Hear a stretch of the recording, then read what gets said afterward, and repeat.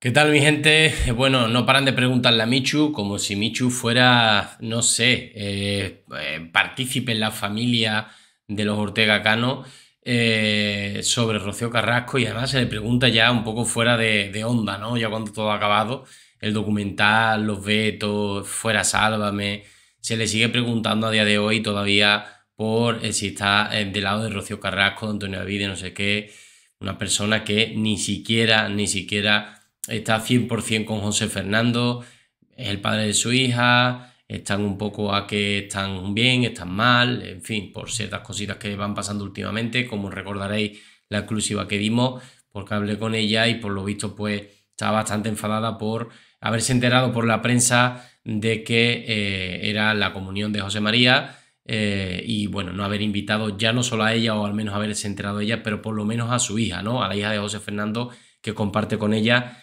digamos que es lo que peor le sentó, ¿no? Lógicamente, que entiende que José Fernando y tal está un poco auspiciado por el padre y que a lo mejor no quería Dios con Ana María, pero oye, allí, igual que fue toda la familia de Ana María Aldón, ¿por qué no iba a ir la de él, no? Y sí que es cierto que lo de no llevar a la hija, pues sí que le sentó mal, que bueno, que eh, era un enfado seguramente momentáneo, que tarde o temprano recuperaría, digamos, el hablar con él y tal, de hecho, estuvo invitado al cumpleaños el pasado fin de semana de su hija. Y bueno, mm, poco más puedo contaros. Lo que sí os tengo que contar es lo siguiente, no sin antes recordaros que reventemos el botoncito de las suscripciones, de los likes y de la campanita para que os lleguen los avisos de los directos y de los vídeos, ¿vale? Bueno, lo que os decía, Michu no se calla y deja claro si está a favor o en contra de Rocío Carrasco. Y responde que soy libre, ¿no? Como que no, creo que como que pasa del tema. Vamos a leer el artículo la madre eh, de la única nieta de Ortega Cano ha respondido a las críticas que ha recibido de parte de algunos usuarios de las redes sociales. Michu parece dispuesta a convertirse en uno de los miembros de la familia de Ortega Cano que más, eh, de, que más de que hablar, eh, aunque sus declaraciones llegan a través de las redes sociales, no a golpe de talonario extendido por la revista o por el programa de turno. Eso sí es cierto que a mí de forma gratuita me dio la exclusiva me permitió eh, comentarla y mira, la verdad que bien, ¿no?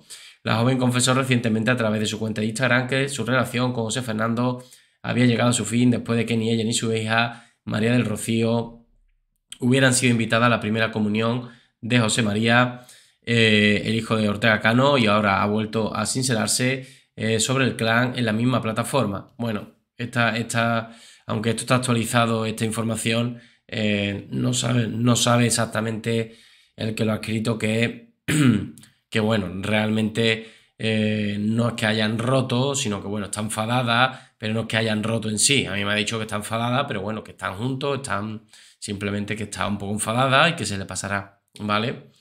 La andaluza compartió un mensaje de felicitación que eh, un perfil de apoyo a Rocío Carrasco dedicó a la madre por su día y algunos usuarios entendieron el gesto de Michu como una muestra de acercamiento a la heredera de Rocío Jurado, enemiga de Ortega Cano y eh, buena parte de la familia. ¿Qué dices? Me han felicitado por el Día de la Madre y ¿por qué no puedo compartirlo? Fue un detalle. De bien nacido ser eh, agradecido, comentó, comenzó señalando la E de José Fernando. Además, la madre de la pequeña María del Rocío dejó claro que tiene un pensamiento independiente y que no juzga a nadie por el mero hecho de que los suyos sí lo hagan. Es decir, que ella va por otro lado, su mente es independiente de la de otras personas, independientemente de que sean de su familia o no, ¿no? El día que hagan lo que realmente quieren, sin importar lo que hagan los demás, serán felices. No vivo de la gente ni con la gente. Hago lo que me, me place sin importar opiniones ajenas. Y recomiendo a mucha gente que haga lo que le nazca y no lo que políticamente esté correcto a ojos de los demás. La verdad que grandes palabras de Minchu, ¿no? Por último, Megan no ha querido dejar... Eh, ¿Megan? no ha querido dejar pasar Michu, ¿no? Lo habrán escrito. Eh, no ha querido dejar pasar la oportunidad de aclarar que no tiene eh, obligación ninguna de posicionarse en la guerra de Rocío Carrasco mantiene con Ortega Cano y su familia, teniendo en cuenta que sus vínculos con el clan son cada vez más débiles. Además es lo que os estoy diciendo.